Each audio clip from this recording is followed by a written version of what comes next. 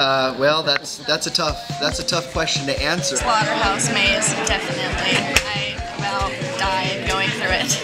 Chucky. Scares me. Midgets. Bananas. Public speaking. Clowns. Spiders. My supervisors? Life.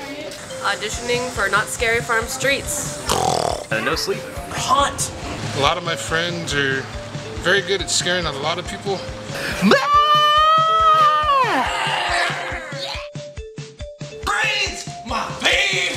My favorite! Why so serious? Oh my goodness! Why are you talking to me like that? Hi, doing? Nothing.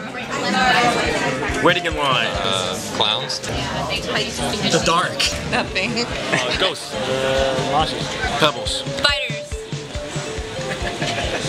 Fish hooks. My girlfriend angry. Uh, your shoes?